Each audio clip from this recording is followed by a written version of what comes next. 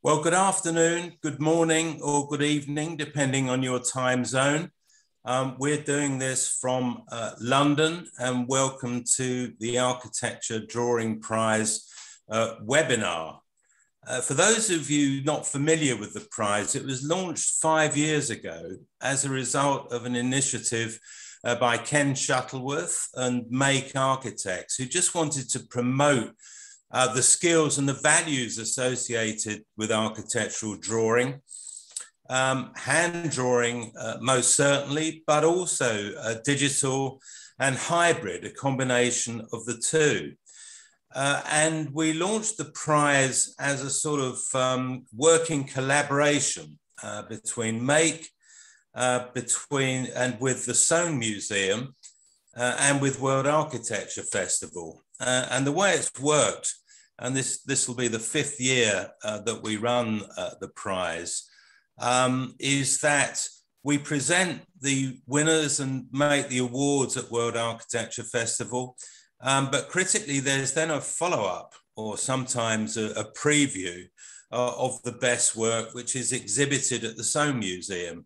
Um, last year we had to do it online, and I think we'll do it online anyway in the future, uh, as well as uh, live.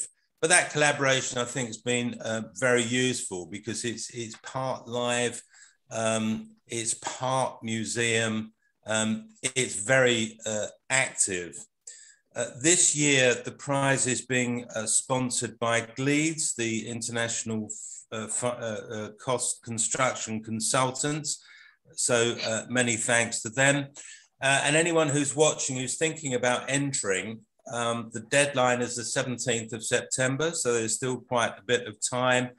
And we usually get about 150, 160 entries uh, from, you know, between 35 and 50 countries uh, around the world. And the splits are reasonably equal uh, across uh, hand drawing, um, hybrids, uh, and digital. Perhaps a little bit surprisingly, I think usually the slightly hand drawing is slightly the, the biggest sector, um, although it, it's not more than 50% of the total, but, but it holds its own. This event, by the way, um, is uh, thanks to ArchDaily uh, for supporting this. ArchDaily have been fantastic media partners uh, of the awards for, for several years now. Um, and this will be available on the ArchDaily Facebook uh, site. Uh, so anybody who wants to tell their friends or colleagues um, about it, you can watch it on catch up on that. And it will also be on the architectural drawing uh, website and the World Architecture Festival uh, website.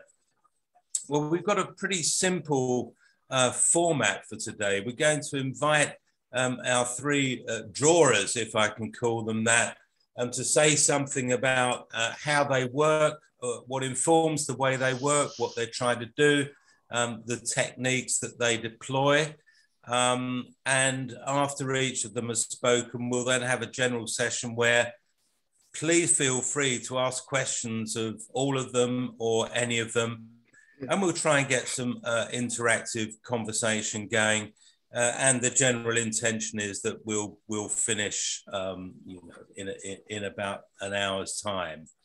Um, our three uh, speakers this afternoon, uh, we'll start with Ken Shuttleworth, uh, founder of uh, Make Architects, then Narinder Sagoo, who's basically responsible for all visual material coming out of Foster and Partners, uh, and you'll see him in their wonderful Thameside studio there. And then Jason Parker, long-term colleague of uh, Ken's. And in fact, Ken and Jason both worked uh, with Narinder back in the day uh, when they were Fosters. Um, so without further ado, I'd like to hand over to the man colloquially known since his student days as Ken the Pen. Uh, Ken Shuttleworth, uh, tell us about your world of drawing. Thank you, Paul. Just want to share my screen.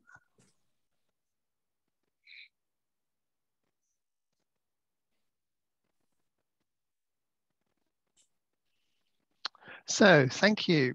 Thank you very much. It's great um, to have the chance to sort of talk about drawing. Drawing for me is probably the most important thing in my life.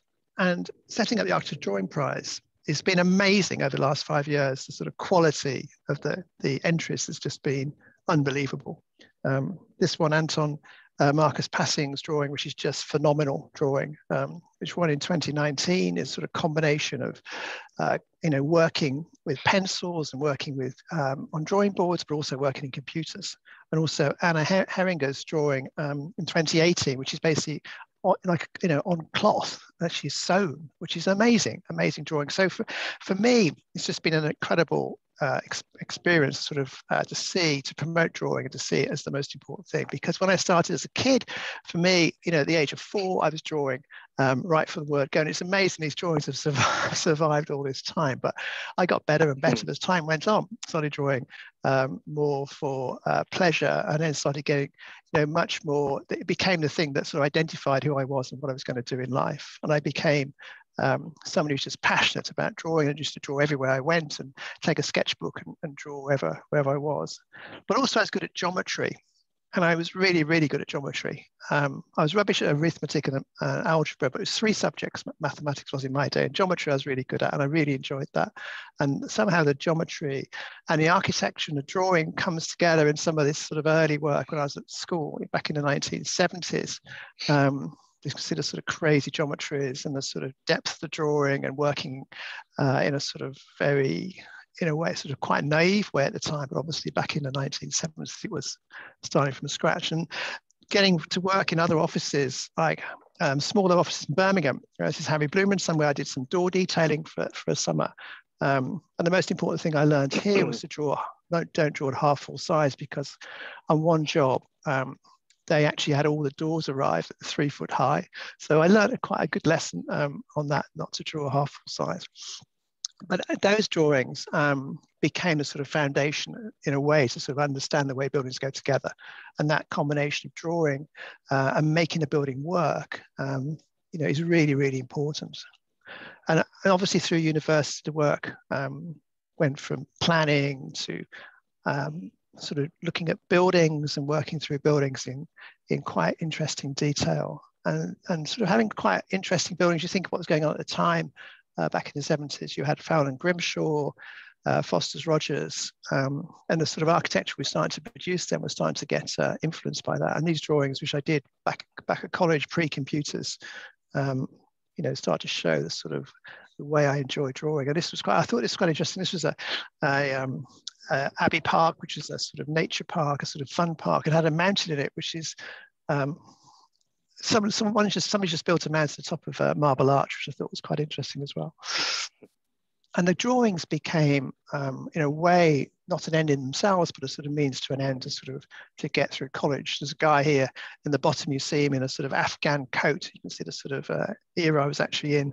Um, with a, with a, a handlebar moustache. But those drawings uh, sort of reflect the time that before computers, when this was a sort of quality um, that you could get out of a drawing, which was actually all about communicating how to build a building.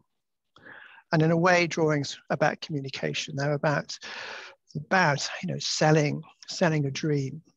Um, and these are the drawings that probably got me a job at Foster's because um, Mark Sutcliffe quite liked these drawings, who gave me the job. But this is uh, as you see, an interesting little building. And then I got to Foster's and I was, you know, involved with detailing um, back in the 1970s, mid 70s, um, you know, complicated staircases, uh, offbeat sort of things, um, looking at cladding systems on the Hong Kong Bank. You know, this again, you think the Hong Kong Bank was pre-computers. This is the sort of drawings that we were doing to actually put the whole building together. So called coordination drawings.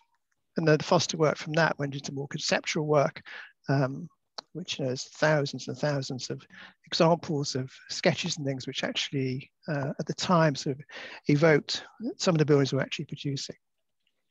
And I think um, the sort of time I left, which is about 17, 17 years ago, I started painting. And painting's different. Um, I spoke to a few artists and they said, you've really got to try and disconnect your hand from your, your mind. You've got to stop designing and in a way, the paintings are sort of anti-design. They try not to design. I'm trying not to sort of draw things um, that I actually you know would do as an architect. I'm just trying to let the paint flow, let the colours flow, let the sort of emotions flow from uh, the event or the uh, or the feature this, these paintings are actually of. And I did a couple in lockdown as well.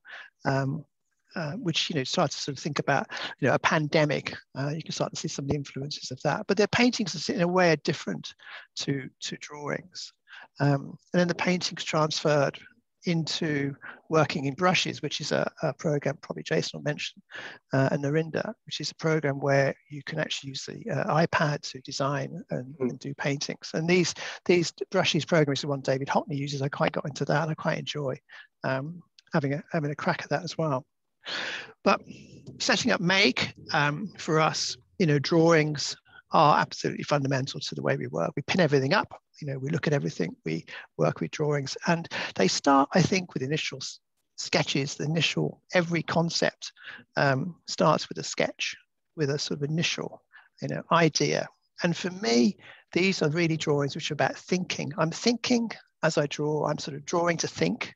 Um, I, I can't really think without drawing. It's like a sort of almost an instinctive thing. I just think all the time. And as I'm thinking, I'm sketching and drawing. You know, I've been sketching just as we started this uh, meeting, thinking about the project, um, thinking about the way it might work, um, thinking about all sorts of things about it in dimensions, um, you know, the way it would plan, um, the way it actually, it's, it's actually deliverable as a building and some of the concept sketches you'll probably recognize, but they sort of they you know they hold true to the buildings that um, were built. But the, in in a way, the original sketches somehow have a sort of power that you can't really recreate. You know, it's like difficult to recreate these, but they are you know the basis of which in, in the way we actually way we actually think and work. Um, so for drawings to me, you know, going from my childhood, um, like a stream of consciousness, they are um, thousands and thousands of them, which are just you know a, as a linear thing that in themselves not necessarily great works of art, but as a sort of collective, they actually sort of take you on a, on a journey through a project.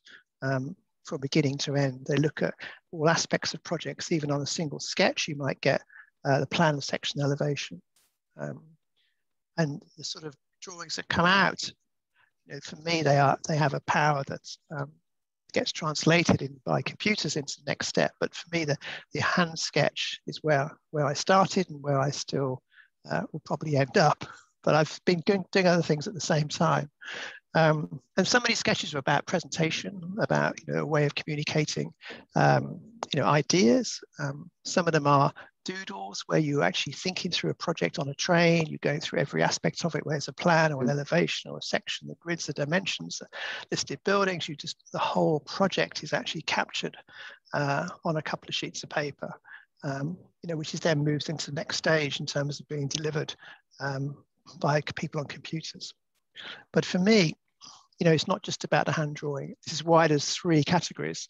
Um, you know, I'm really passionate about computer drawings as well. And the, the guys who produce those are just as talented as anybody who could draw by hand. So for me, that that taking that hand drawing and moving into computers um, is just a natural progression of the way we think and the way we work. Um, so for me, these drawings um, you know, really important. This is one that thinks about London in the future. You can see the Gherkin there on the right. Um, I put every project we'd actually never built um, that we designed at Make in the skyline. Um, the Shard is uh, being extended at the top there with additional platforms because it's not big enough. And then the um, walkie-talkie is being demolished in the middle because it's uh, no longer appropriate. And there's people living in sort of boats on the Thames and it's uh, people farming. It's sort of a, a, future thing, which I think leads actually uh, asked me to do this for their anniversary, but I thought it was quite an interesting one to put in uh, for London 2145.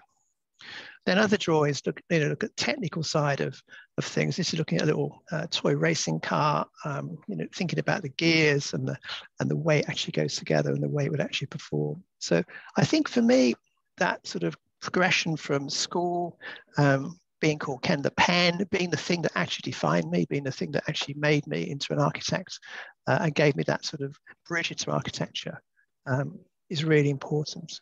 And the translation from the drawing now into uh, the future, into the sketch drawing, into the way we work. And you know, we now work with computers. We have um, fantastic programs, incredible, talented people uh, model makers, and sketching all works together now to create a single whole, which is so exciting.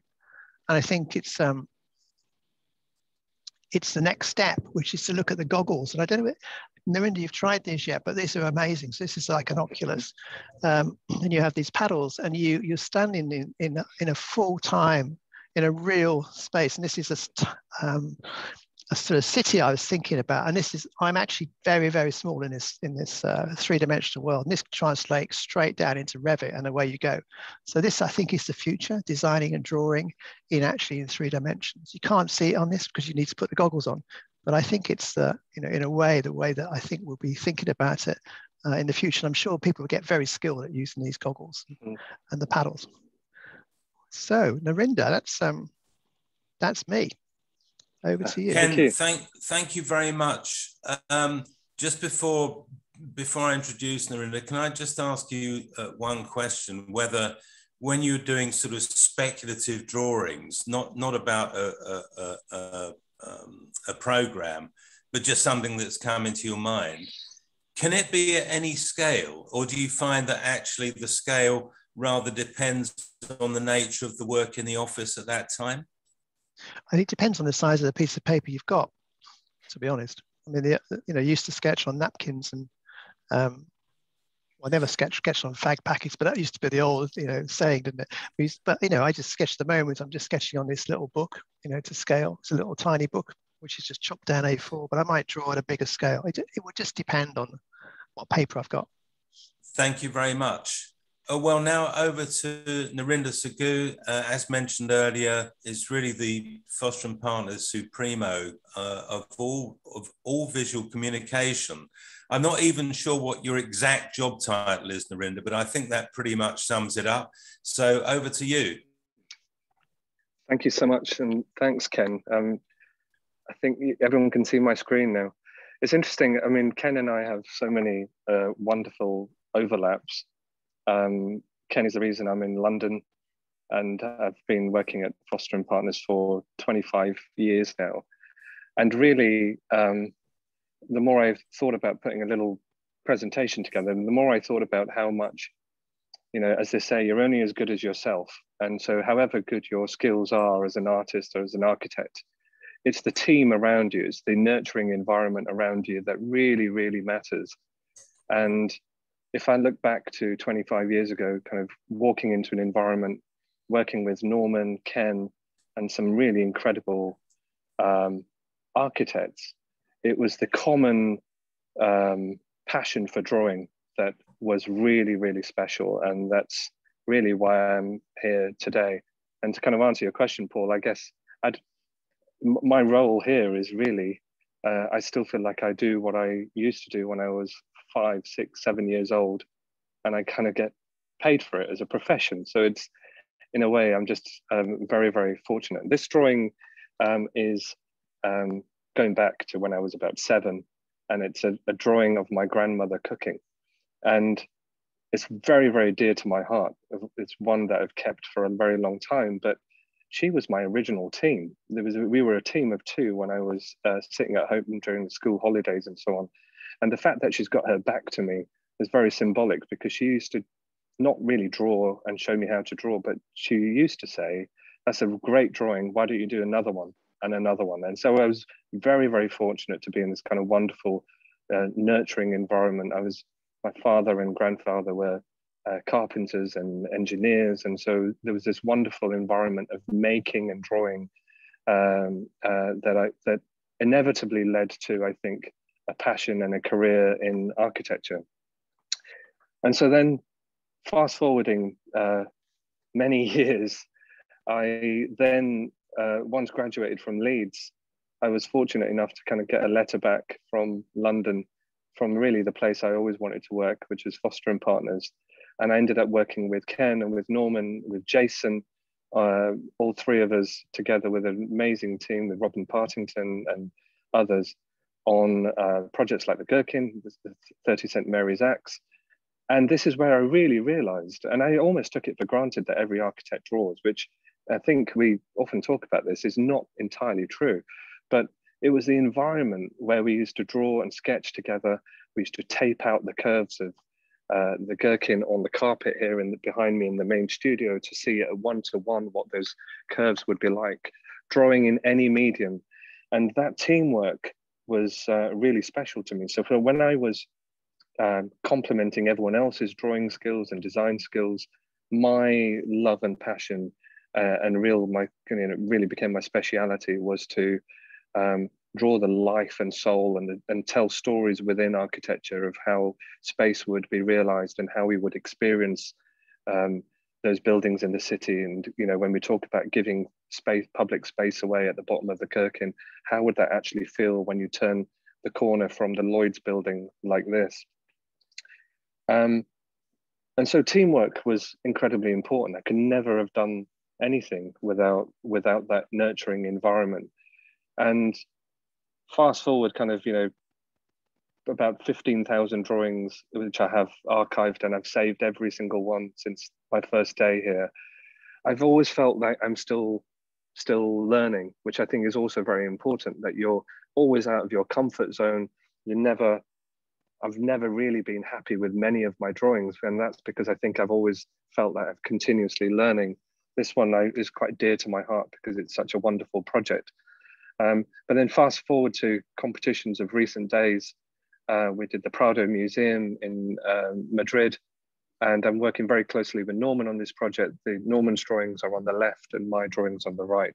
So Norman's done pencil drawings on trace. He kind of very carefully then colors behind the trace so that the, the color and the pencil don't blend. And his cartoon-like um, drawings tell a very complex story in a very simple way on the competition boards. And then to complement that, uh, almost like a an act on stage, if you like, you know, you, you you don't always say the same thing in the same way, but you complement one another. I decided to do the more technical drawing on the right hand side, and that's drawn on the iPad. So what I've done is taken the conversations between Roger and Piers, our engineers here, a wider team of how we're going to slice this building open and in, include new structure and bring fresh air in and you know use daylight in, in ways that it hasn't done before historically. Um, i've brought together everyone's conversations into a quite technical but yet quite presentable drawing on on the right. And what i've done over the years is really through an app called procreate been really lucky to help develop the app with the developers. And they've given me tools which um, have been really necessary to my own kind of personal choice. But I've created brushes for leaves and for bricks and and so on that I can just uh, draw even faster than before and draw even more than I used to. So that's teamwork. And really, what I often say to people is that when I'm sketching, I'm just drawing out loud. And in the same way that you're talking out loud or thinking out loud, you know, really nowadays, I'm not thinking about how to draw as I might have done when I was kind of practicing in all of those thousands of drawings of how to draw people and cars and so on. But you start to think about, you start to think less about how to draw and, think more about what you're drawing. And then as, fa as fast as the ink comes out onto the page, uh, sometimes the, the ink follows the thought and sometimes the thought follows the ink. So there's a wonderful kind of serendipity between the pen and the paper where you're watching it dance around. You're watching the ink dance around. And in the same way that as kids, we would look up at the clouds and find uh, find shapes in the clouds or the cracks on the wall, uh, you kind of see things that you perhaps didn't mean to see uh, on the page. In the same way that, you know, if drawing's a language, a language, sometimes within a conversation between people, you see and start to hear things uh, that are even greater than we intended. But these again are really not just my thoughts, but they're um, and this was done during lockdown last year. That so this photographs taken at home. They're things I hear. They're so they're kind of uh, conversational pieces between people.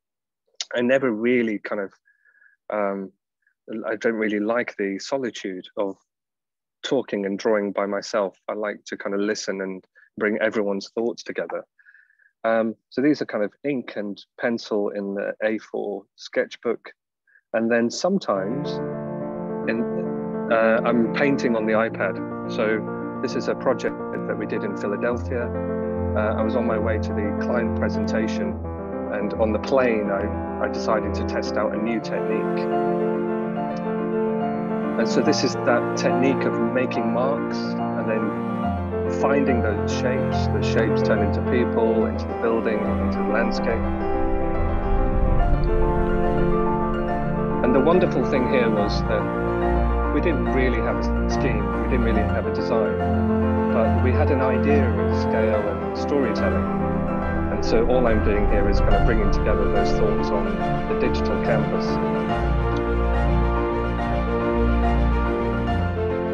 And when you're able to kind of record process like this, you're not just presenting a final image to a client, but you're involving them in the process. It's like they're sitting next to you, watching you draw.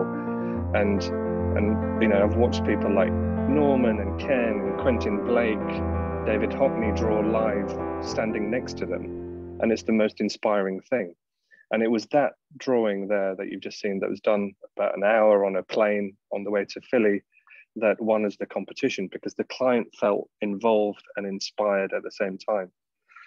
And then I think drawing's incredibly useful, not just to communicate ideas and, of course, question ideas and question the brief and have that level of innocence uh, but I find it as incredible tool for leadership. So um, Ken mentioned this earlier. There, there's a difference between drawing and sketching. Sketching like this can leave so much more to the imagination that uh, it allows your team, it allows the people working with you and around you to in, input their own ideas. So you don't tell them what to do. You kind of show them the direction in which to go through these loose sketches and and they add their own personality and become quite autonomous as architects and um, uh, artists. So I'm going to show you a little bit of a, a, bit a bit of what my team does and how these um, simple sketches that not only I do but can influence um, our kind of portfolio of work.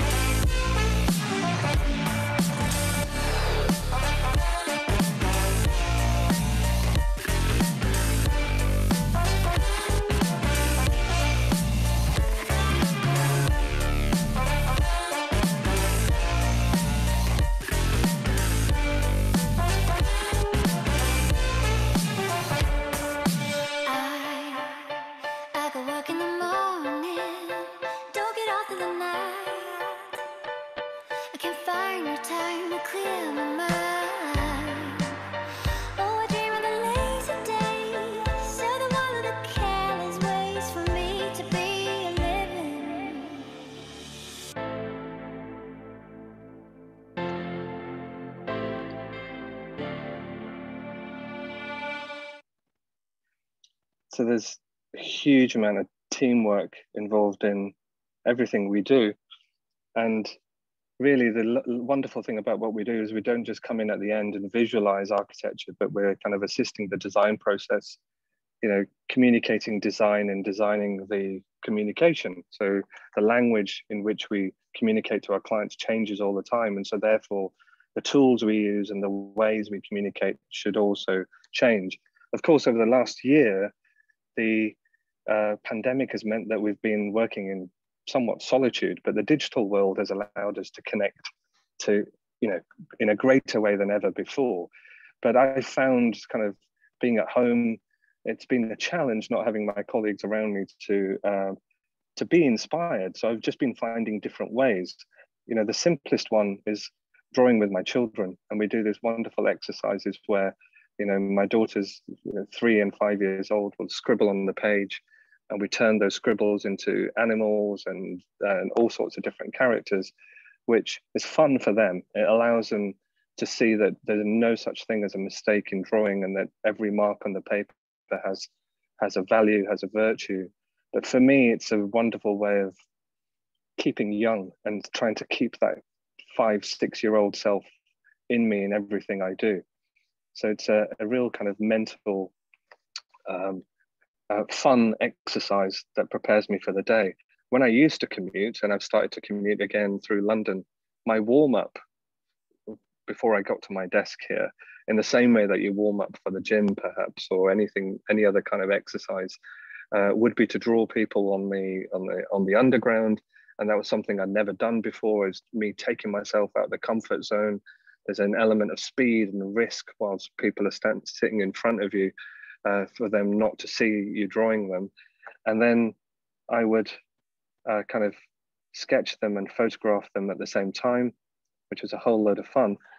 But obviously, in the last year, I haven't been commuting, so I've been secretly drawing people whilst they're on Zoom calls and Teams calls, and, and again using different um, um, techniques that I don't normally use. So I've been using a water brush to move around the ink in my uh, sketchbook that I found great for adding depth and values really in a super quick way and kind of painting with water and the ink that's already there.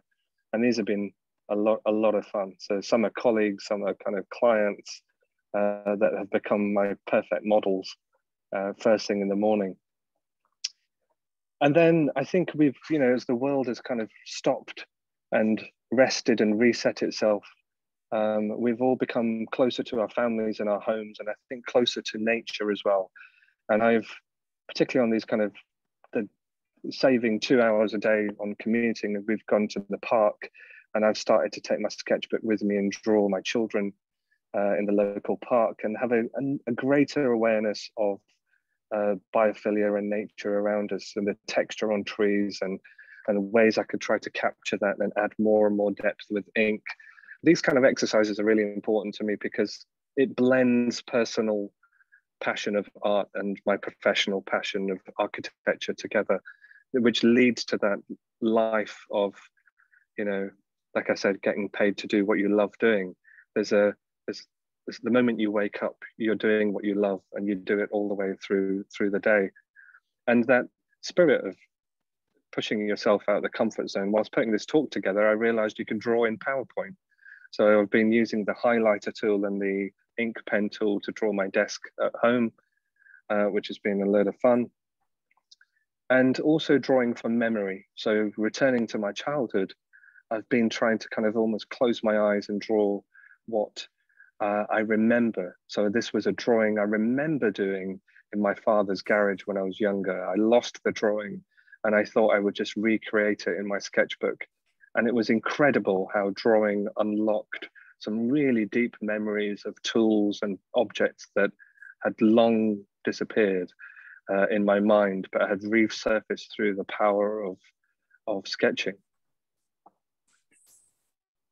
so that's really that's me that's kind of in a nutshell really um, more about um, drawing uh, as a team and the nurturing environment which i think is so incredibly important Narinder, thank you very much for that. Um, I can see at least one forthcoming exhibition called Clients and Colleagues uh, yeah. coming up. The, the surreptitious recording. Uh, that looked delightful. And uh, I must say, I think it's a very, very interesting idea about the drawing as memory uh, as opposed to the drawing as prediction.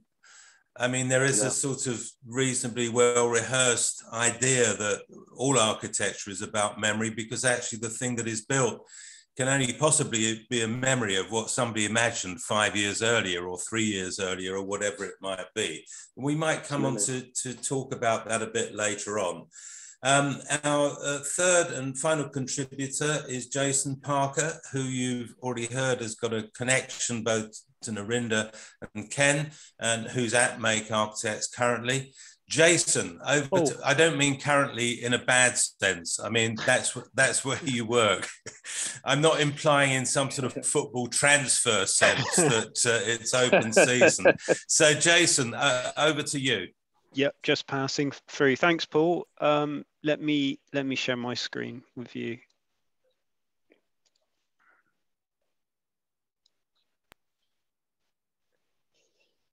Okay, so ho hopefully you're you're looking um, you're looking at some hands.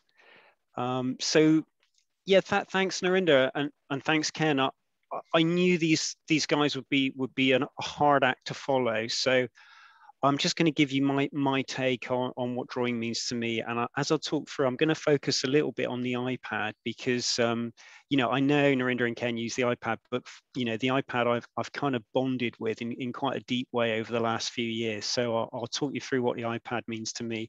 But if we just go back a bit, you know, maybe 30 odd thousand years ago, what you're looking at here is, is a group of people, you know, they've, they've probably had enough to eat, you know, their, their basic needs have been met and, and they've got a bit of time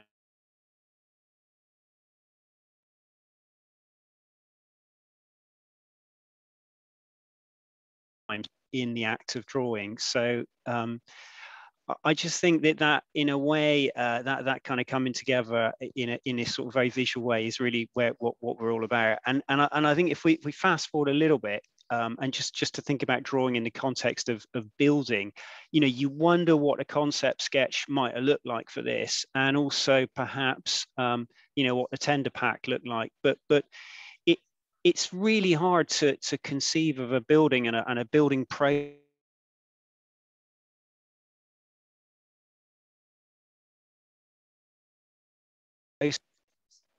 um, can you hear me okay though? Yeah, we lost you just for a second. Yeah, but, that's uh, okay. Ca no, carry on, carry I'll, on. We got I'll, the we got the gist. Yeah, I'll keep going. I'll keep going. Um, so, I I guess that uh, you know this sort of dialogue is happening. So if you if you sort of fast forward and you, and you head down to Brick Lane, you know you can you can see this kind of thing everywhere. And I, I don't know exactly what the rules are for this, but I think you know you only stick over something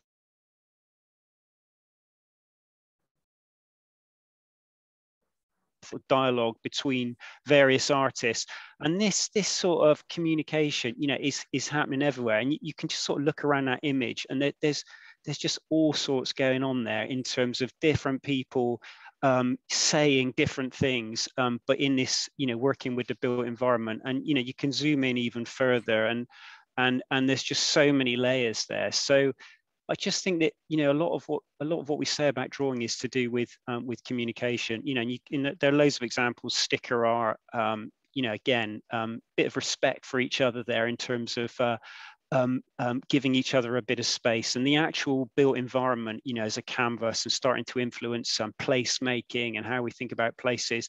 And again, you know, this is really all about um, visual communication, what we say with line and color and form.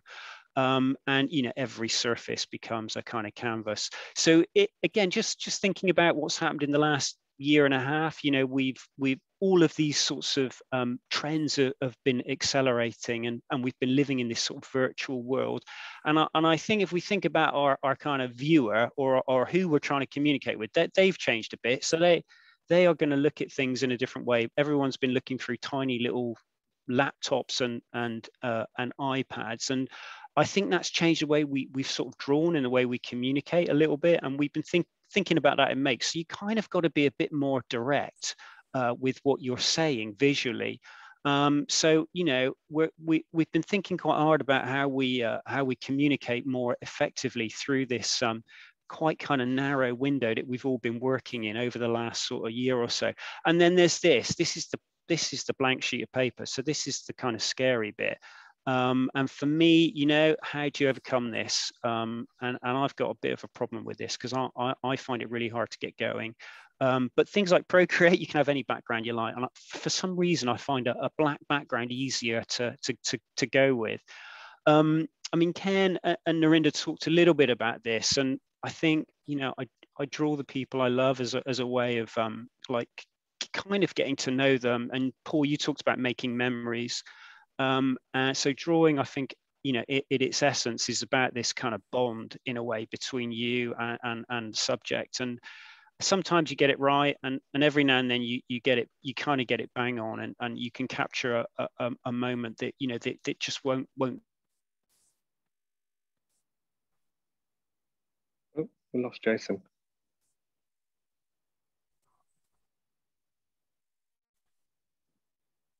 Sorry about this, folks. Just a little technical thing. We'll see if we can get Jason back again.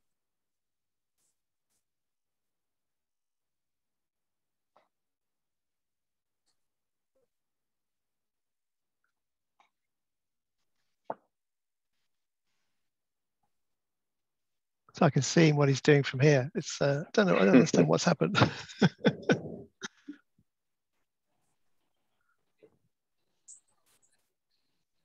We're gonna have to reboot it. Oh, Sorry about this. that's okay. I should have a chat. Paul. I, yeah, yes, thinking let me, that. let me let me ask you thing. let me ask you both a question. Um, w- we've got we've got some questions coming in from the audience, um, and and one um, this is from uh, Edgar uh, Lecharge, uh, and it's for both of you actually. As an illustrator with a background in architecture, where do you think one would go to look for jobs similar to you to yours, i.e., illustrator in architecture? I'm not quite sure that's how I would describe uh, your jobs, but let's let's just take the point. Okay, you can draw, you know something about architecture.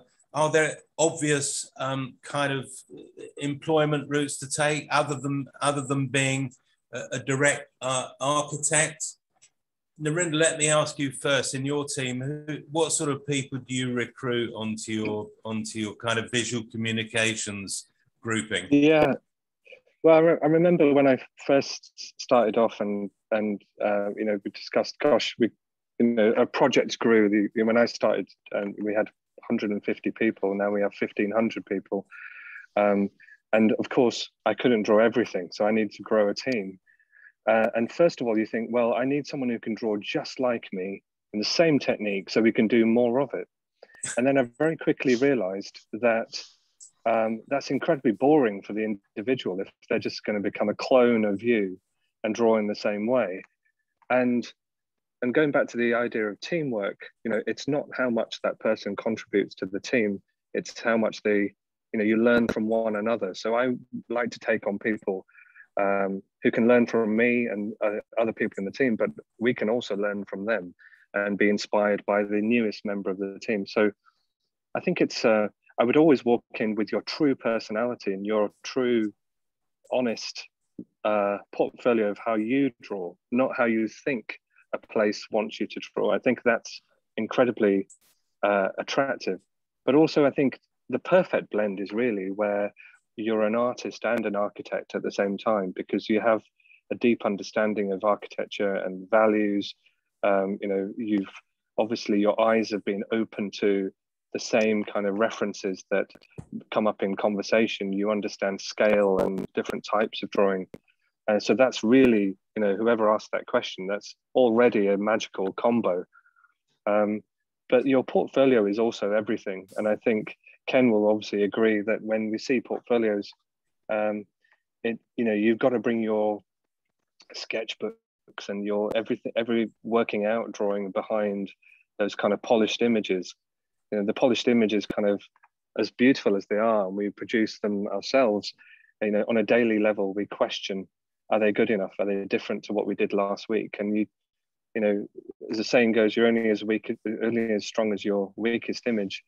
Be very self-critical but include everything and bring your own uh, personality to the um, application and the interview. Thank you very much. And Ken, it's a, an associated question, but somebody has asked, um, would you say there's a difference between um, an architectural illustration and an architectural drawing? And I suppose this that, that goes to this thing about the extent to which the drawing can be used as, as, as part of a creative tool as opposed to a, a representation of, of, of what's been built or what might be built. Yeah, I mean, I think that's probably it. I mean, I think for me, you know, the drawing is actually just part. Can you hear me? Uh, it's part of the process. Yeah. You know, the the um, you know, it actually comes out of um, discovering the building, you know, like finding the building, finding the building you want to build, find the building everybody wants, and that continuous process is the drawings. The illustration probably would come after that, you know, that you do a, you'd have some, even after the building's built, sometimes you'd have somebody go and do a nice drawing of it.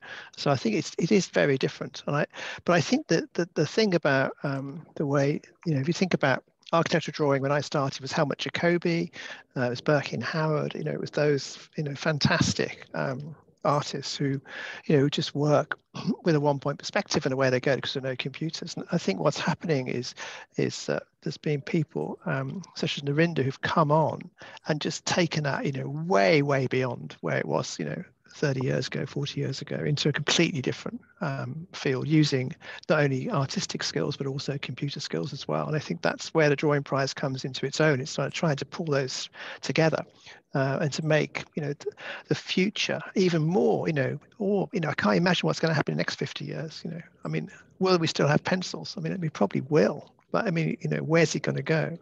Um, so I well, think it's, an, it's, that, it's interesting, isn't it? Because when we when we do the judging for the drawing prize. The ideal drawing has got something about architectural intention in it, hasn't it?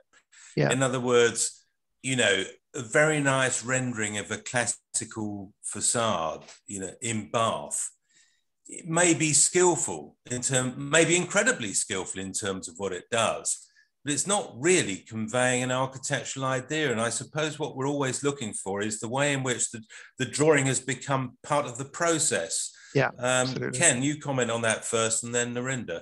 No, I think that, I mean, absolutely. I think the process of architecture, you know, is through models and drawing. It is that process of designing, evolving a scheme, you know, iterative process with, uh, with clients and engineers and, you know, uh, colleagues in the office actually pushing forward a scheme is all about drawing that through.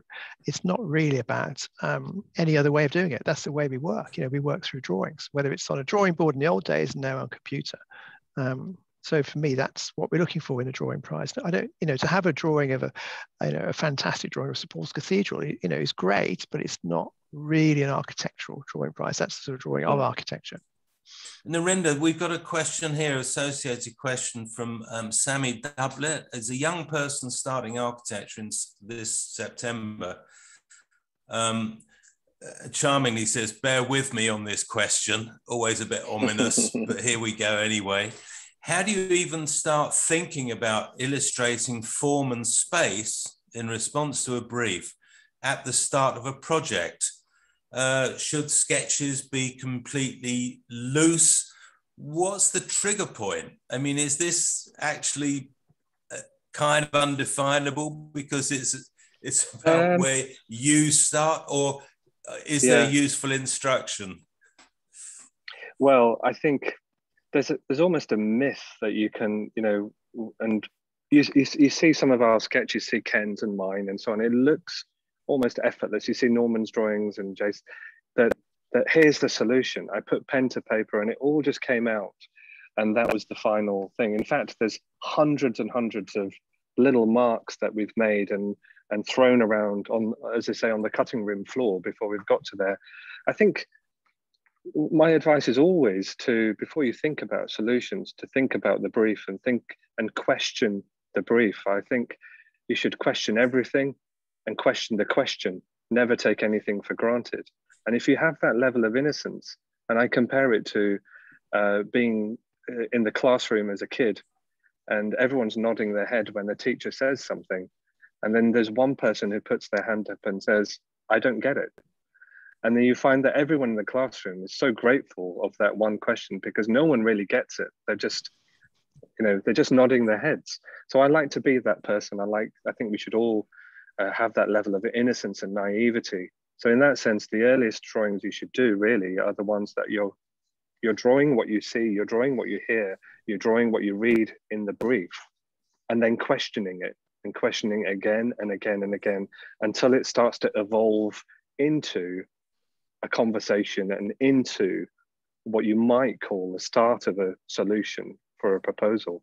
And even then, it's never finished. So when we produce renderings, um, I said earlier, we never really like to see them as the kind of finished thing. For me, we talked about drawing as memory. The renderings themselves are still questioning what a future might be. They're a really useful way of like uh, time travel. I feel like I can travel forward five, ten years until the building's finished, not to show a client what it looks like when it's finished, but to have a conversation with a client of how it could be better. You know, what what have we missed out, and what would we be thinking in 15 years' time, standing in that space? What have we? What are, what's the potential that we've missed out on? What are, what would be the future technology?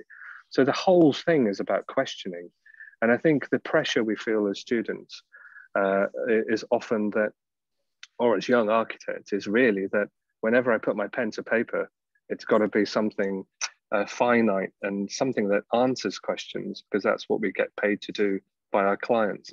But it's, the value is really in questioning, I think. Thank you very much. Here's a quick technical question uh, for you, Narinder. Uh, this is from Mauro uh, Malietta. Um, have you ever tried to sketch in 3D in VR with tools like Gravity Sketch? Um, I, this means nothing to me, but I hope yeah. it does to you. That's what I was using, yeah. Yeah, I have actually here in the studio. And apart from the fact I find it hard to fit over my turban, so hopefully they'll come up with something lighter uh, that I can. I like to. I mean, like we all like to carry around our sketchbooks and pens. We can just have it in our pocket. That equipment has not yet become so agile for us to be able to just whip out and and draw. Uh, but more than that, I found it I was surrounded by my team when I was testing it out, and I found it really isolating. I felt so lonely because I couldn't see them, um, and I and I found it quite strange. I could hear their voices. So as, I think when that process becomes uh, easier to use in terms of the physical space, but also more collaborative, like if I was drawing with Ken in that environment, I'd like to see him in front of me and have that kind of uh, collaborative uh, canvas to draw on. And then I think it becomes quite special because, again, you can't really involve clients in it yet, but you want them to be able to put the goggles on and step into the same space as you and walk around. Thank uh, you. But it, I think I think it has a way to go. There's um, somebody who um, loves. This person says, "I pray we always have pencils, Ken. The pencils create magic in your hand." Um, what an endorsement. And I don't think that's a family member, but I'm going to ask a, a, a, an, an, associated question, which is how do you balance? Uh, this is from Josh. How do you balance and integrate sketching and ideas making with the process of um, competition design and presentations? I suppose if we slightly rework that, that question, are there a series of exploratory um, drawings that you would make in the process of doing something? Are they the same ones that, that would you would use in a competition or for presentations? Or do you kind of produce a different set of stuff for those occasions? no, I think for me it's the same. I think it's the same stuff. You know, you're still trying to produce a, a fantastic art, piece of architecture, whether it's a competition or whether it's um, you know for a particular client with a with a specific brief. So for us, I think it's a matter of always doing that exploratory plan, always doing an exploratory section, always thinking about the thing in three dimensions. Um, so the sketching works hand in hand with model making. And I think we haven't really talked enough about that, but the model making is so important. So 3D model making, actually physical model making, not computer model making. Um, you know, as it is at Foster's, you know, you need to have that block of foam, you need to have the sketch, you need to have the site plan, all that stuff all works together to actually, and then you sort of, you know, cut a lump off the model, draw on the model, slice it mm. down a bit, make another one. Um, that sort of three-dimensional quality is the way we think. Um, but course, the best thing we have now is everything that goes into computer in three dimensions, and you are actually looking at you know a full size um, three dimensional representation of that building. And I think that's the big shift in my career from you know, what was it? it used to be called uh, lies, damn lies, and architects' perspectives. Um, you know, all that's changed in the last uh, hmm. 20 years, where you know there's no hiding place. You know, you what you draw is what you get, and I think that's the most fantastic thing about uh, about it. And for me, the goggles are, um, you know, I love them. They are great to see what you've drawn uh, in full size. You know, for the first time in reality, you're seeing it. You're in the goggles, looking up, and you're seeing that building. And you know, it's always bigger than you think it's going to be, but at least you're seeing it in the goggles rather than actually on yeah. site. So I think they've got a great, great role to play. Thank you. Uh, there's a few questions in here which we might refer on to you guys uh, later because they're really people seeking um, careers advice. Um, but I'd like to keep this more general about the about the issue of drawing. And um, someone's asked a question which I I think the, the first bit of this you've already answered because you obviously both drew by hand with pencil when you were young. Would you like to say a bit about um, how things moved on and changed? and whether, for example, Ken, do you still do mostly like hand drawing in what you're doing, or do you do you get on the screens? And Narinder, what was the point where you moved from hand drawing to something else? And obviously, hand drawing is still important to you, but is your life now mainly digital? So, Ken first. Yeah, I mean, I think I think my I'd be great if Jason comes in now. I think Jason's back online, but I think you know, for me, it's um, you know, it's hand drawing is still the way I go. I still have this pencil. Um, it's 0.9. Narinder recognizes it. Um, you know, it's a great pencil, and I use it all the time. And we've always got a sketchbook, you know, open the whole time on our desks. You know, whatever size it can get. Um, but I think what Jason's done is taken that into um, using the iPad and he's taken it from you know actual pencil on paper to the iPad. So maybe Jason, as you I just got so, missed your present. I, am so sorry about that, but I, have I've just got so used to the convenience, the flexibility of the iPad. It is just so hard to let go, and and you know I have sort of customized my pen with the thing that you know that little thing from Ken's point nine. Um, yeah, but there you, you, yeah, I've got my little custom one, but it's it's just so it's just so quick and and it's so easy to share um, um, drawn you know drawn info um, on teams or with colleagues. And and so i found myself um, yeah i'm totally wedded to it. And my, my ipad has like been sat on it's bent it's cracked and i almost love it more for, for all of that. Um, so i'm struggling to, to mm-hmm. let it go. Thank you. I've got a question from uh, peter heath um, this is, we're going down memory lane now. Um, Narinder, you remember the big world squares drawing in Selfridge's window on Oxford Street? Yes. Uh, yeah. Ideas for improvements for 2012, wow. islands on the Thames, beaches to work with Parliament Square, etc., etc. Yeah. And I think um, Peter's question is, how big can a drawing get, or perhaps you know, how big can it usefully get? Um, I think Ken kind of partially mentioned this earlier. The, I mean, that drawing um, was A1 and it was drawn in a 0.1 fiber tip pen. And, and I've, I used to want to kind of break the kind of, I mean, I've always hated the kind of uh, expensive architect's pencils that people buy made milled out of aluminium and architects feel that's the only thing they could ever draw in. I just always wanted to create our environment uh, into something where it's more like an artist studio. And, but the choice of pen has always controlled the speed and the language in which I draw. So the 0.1 fiber tip, I had to draw really slowly, otherwise it would break. And admittedly, I'd go through about 30, 40 of those 0.1s, but it slows down your thinking. Uh, and whereas, you know, in comparison, a, a fountain pen flows so quickly, I can think and draw super quick. So that was A1. It was drawn with a 0.1 pen. Uh, it took, well, it took a whole weekend, but as Ken knows, that weekend was 20 hour days. And I, and I finished it on the uh, Monday. But on the Friday, the important bit is that drawing started off as a conversation between Norman and a couple of other people here at this table. Um, and before I spent the weekend drawing the A1, you know, big piece, it started as a very, very rough, quick sketch um, on a um, on a piece of cheap tracing paper and a biro. And so um, the drawing can be as big as it wants. It depends how much you have to say, and it depends how much detail you want in the in what you're trying to say. You, you know, you can. You, it's the difference between writing a birthday card and writing a novel.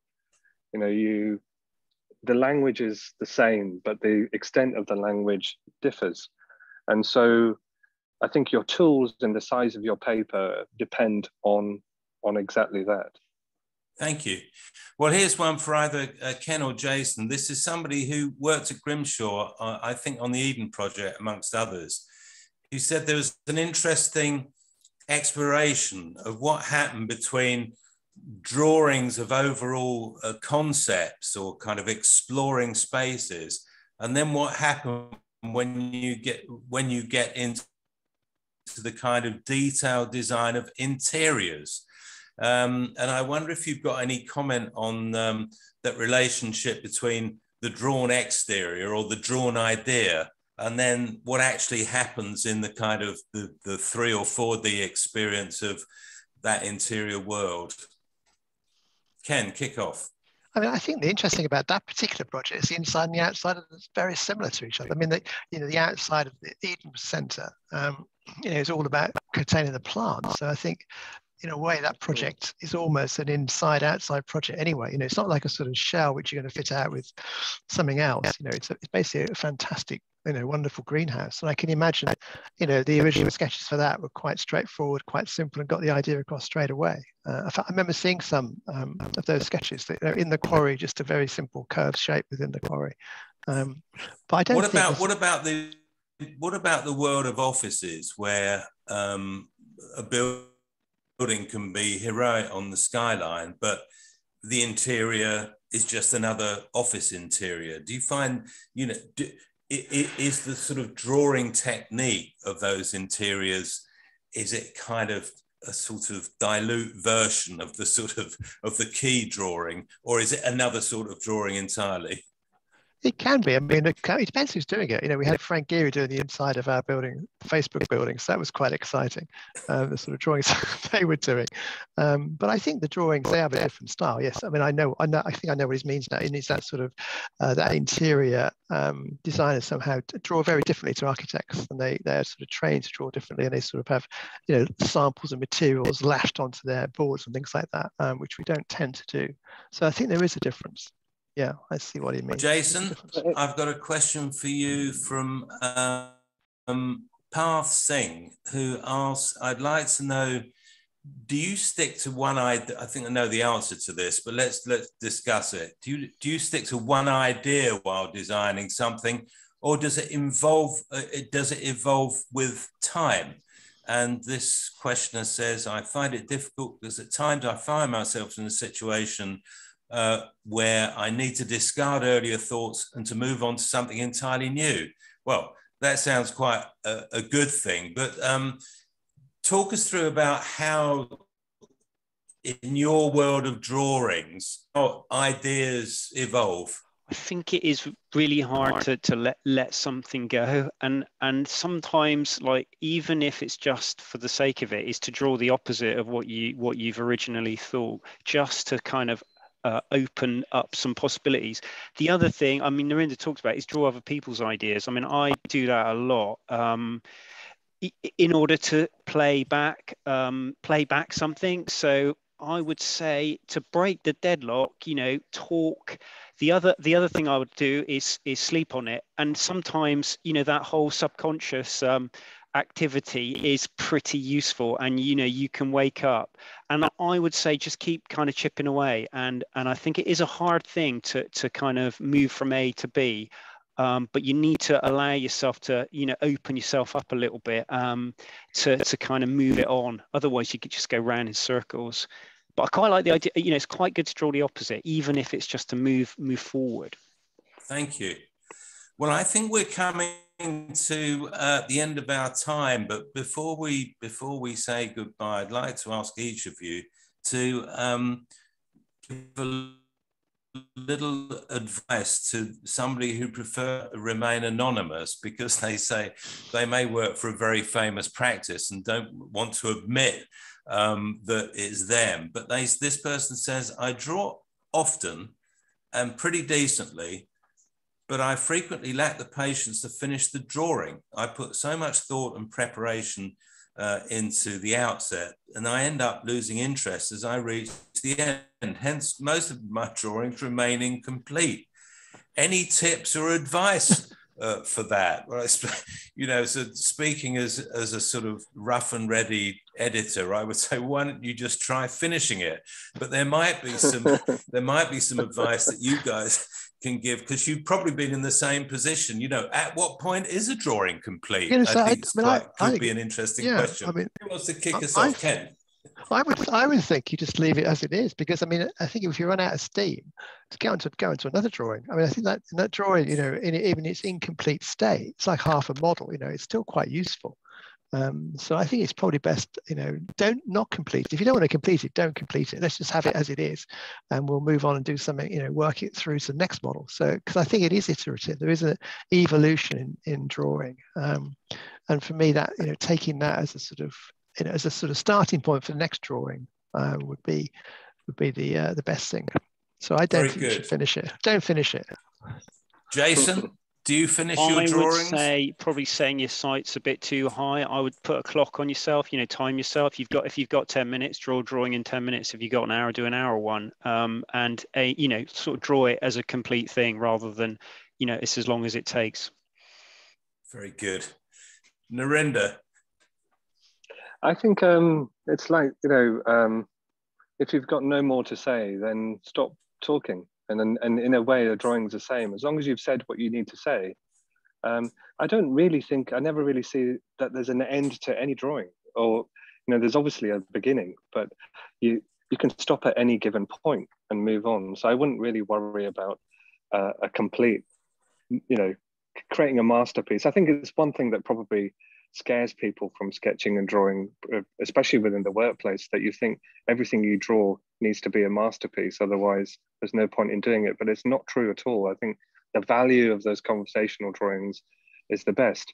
And, you know, going back to the beginning of that, knowing where to start and the fear of that blank canvas, I always say to students in particular, pick up your sketchbook that you've spent 15 quid on from the student union, throw it across the room, go and pick it up, and then start drawing on it. Take away the value that you think you're about to destroy with your drawing and just draw on it. And draw on the cheapest bit of paper, on the back of a letter uh, or whatever it is. And, um, and in particular, draw in conversation. You know, talk to your grandmother, your mother, your husband, your wife, and start drawing whilst you're talking to them. It's probably the best way to kind of uh, loosen up and, and build confidence in drawing is, is drawing in conversation. And, Well, know when, and then you know when to stop talking. that's a, that's a lovely way to morph uh, into uh, an ending. Um, can I thank, um, in no particular order, um, ArchDaily for their support for uh, this webinar, uh, Gleeds for sponsoring this year's uh, Architecture uh, Drawing Prize. Um, of course, uh, our contributors, Ken Shuttleworth, Narinder Sagoo, uh, and Jason Parker. I think it's been a really fascinating conversation because actually, the more the more you see drawings, um, I saw a couple recently, both of which have been done on on. Uh, one was actually on the front of an envelope, incorporating the name, the name and address. the other was on the back, which was rather more successful, and you could just see that actually there was there was an energy about uh, this drawing. It wasn't a great drawing, but it was like one was a drawing of Oxford Circus and one was drawing of a roundabout in North London somewhere, and you could just see that whatever it was um, had attracted this person to actually take the trouble to do it on the spot, and all they had was the envelope and there was a certain uh, energy uh, that that came through from this. And I must say, I think that idea of um, the drawing as conversation, and and sometimes it's an exclamation, and sometimes it's a shout, and sometimes it's a nice piece of prose, and just occasionally it, it might be poetry or a philosophical insight. And I think this sort of conversation is, is very, very interesting because it bridges um, ideas about creativity uh, and technology and representation um, in a way which is actually rather unusual uh, in architecture, where quite often, you know, the conversation is about building regulations or it's about planning or about whether it should be timber or steel or concrete. And there's this whole other world of, of exploration, which I think has been uh, very nicely uh, discussed this afternoon. So that idea of, of drawing as language, of, of making marks, that possibility of, dare one say it, um, doing figurative drawings in an abstract world. And what exactly is wrong with that? Um, it's a kind of, it, it's not an admission of defeat. It's a, certainly a, a, a massive test of, uh, of, of, skill. Um, and I'm still thinking, Jason, about your, um, and I, I, was hoping you might show it. And if you haven't drawn it, you ought to. I'd like to see your concept sketch for what Stonehenge might have been, because somebody had a go at it recently, suggesting that it was in fact a great big auditorium, um, a meeting place, and did what was probably a rather fanciful proposition, which looked a bit too architectural to me. I mean, in a sort of finished form, complete with interiors. But, but I think the sketch, the sketch design would be absolutely amazing, and all those ideas about sticker art and and overlay, uh, and of course the power of the hand drawing and the, the pencil.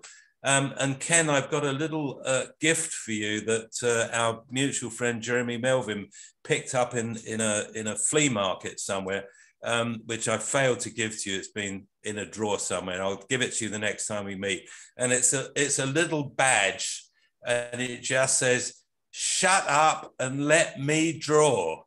Um, and I think that that's uh, an appropriate way to uh, end this conversation. Uh, thanks to uh, Sophie Fries from Newby Mactari for doing all the technology of this. Uh, thanks to uh, World Architecture Festival and the Soane Museum, and of course, Make Architects for inventing the Architectural Drawing Prize. the deadline for those who haven't yet entered is the 17th of September. Um, thank you very much, panelists, and good morning, good afternoon, good evening, or good night, depending on your time zone. But anyway, goodbye. Thank you so much. Thank you. Bye, guys. Thank you. Bye-bye, everybody. Ken, see you, Jason. Bye. See you, Paul. Thank you. See you soon. Bye-bye. Bye. Take care, everyone. Bye-bye.